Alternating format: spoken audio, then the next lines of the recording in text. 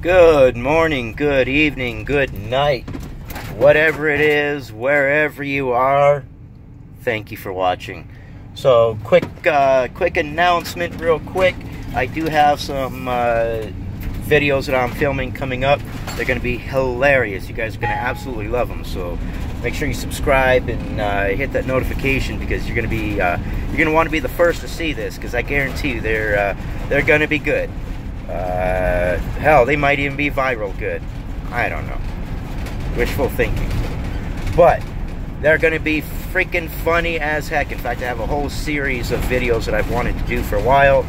Uh, kind of political, social satire, if you will. Maybe that's what I should call it social satire. Uh, but just a really, really quick video. I want you guys to uh, to stay tuned for that.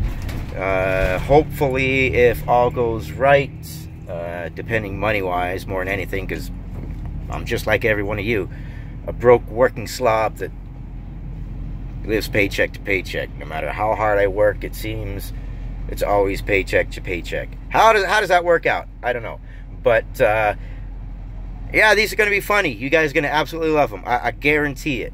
Uh, they're hilarious.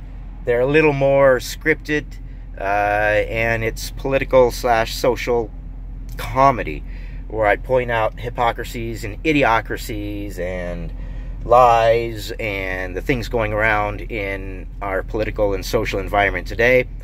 But I do it in such a way that's funny, and uh, I think it's going to make you guys laugh. My goal is to knock you guys off your chairs, rolling on the floor, laughing, and at the same time, still being informed about the news and politics.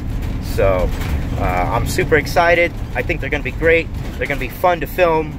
Uh, you guys are going to love them. All right, so stay tuned for those. And uh, I'll have a State of the Union address later on, my opinions. But basically, a sneak peek. I think Trump rocked it. Wow, he did a really good State of the Union address. He really did. So, those thoughts coming up here in a little bit, but uh, living paycheck to paycheck, I don't really have much time. I gotta, gotta work.